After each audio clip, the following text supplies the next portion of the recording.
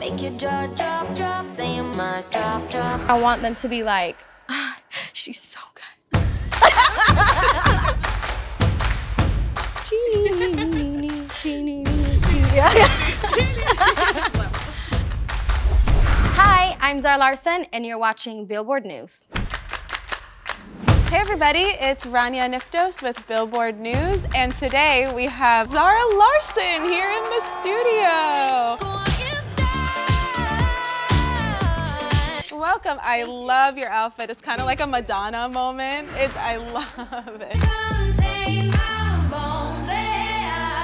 When you work with a stylist or you choose your own clothes, Yeah. do you like to experiment with your style? Yeah, I like to experiment a bit. I want a little sexy. Yeah. Throw some sexy in there. You know, that's when I feel the most comfortable. So yeah, today I just went out shopping for this. You bought this Yeah. today. Well, good choice. Yeah, they gave me a little budget for the Billboard interview, and I said, okay. You have a very exciting week. You've Yeah. Dropped your new song, Can't Tame Her. Said she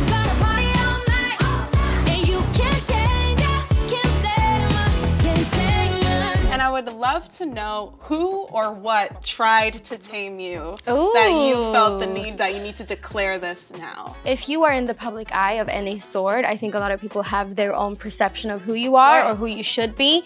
People want to put girls in a box of what you should do and not. So even just being in the public eye, I feel like you have a lot of people telling you what's wrong or how you should do something differently. Middle fingers up. I'm out there, I'm very loud. I'm a diva. I'm a, I'm a diva. I try to stay true to myself and like surround myself with people who care about me so we can all just help each other and protect each other and like really good friends. Are we more than friends? There's so much that I wanna say. That's the most Yeah, important thing, yeah. especially when you're famous and you don't know what their intentions are. Yeah, what I never do. for. Everyone who's nice to me, I'm like, you're my friends.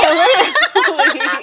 and then my friends are like, they weren't very nice to me, you know. That's why I'm like, hmm. No, you can't tame that girl, 'cause she runs her own. Tell me a bit about like making of Can't It's definitely pop. It, it fits well in my catalog, but it is a little different. Yeah. But it's a banger and hits you right in the face. I love it. For me, when I played it to people, like it gets people excited. Yeah.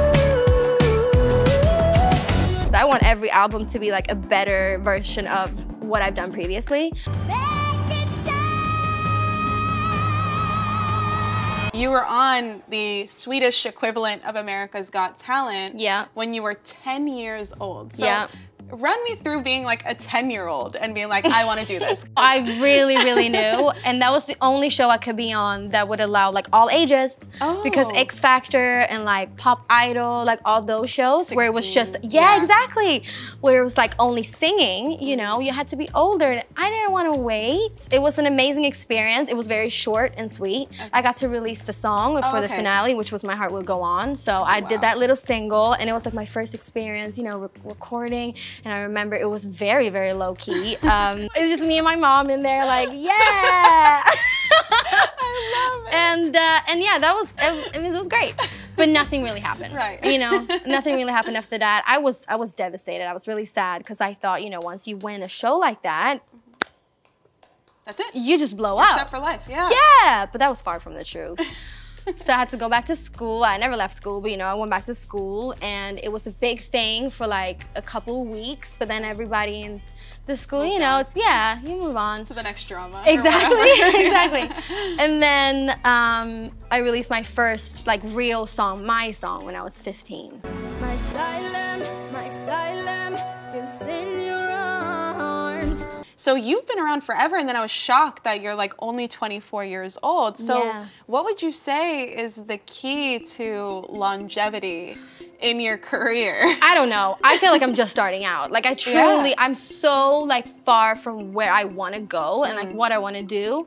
I think it's my blessing and a curse where I will never really be satisfied.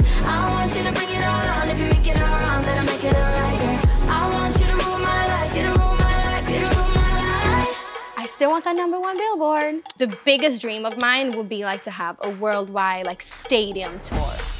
I love what I do. I think you have to have a true passion for it. Yeah. moving forward, you're working on an album. What do you want fans to take from it?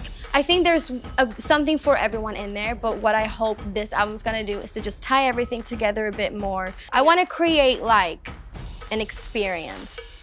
And I want them to be like, ah, she's so good. I mean, I don't think it's gonna take that much because you are such a good songwriter. And your new song, Can't Tame Her, is out now. She's so good.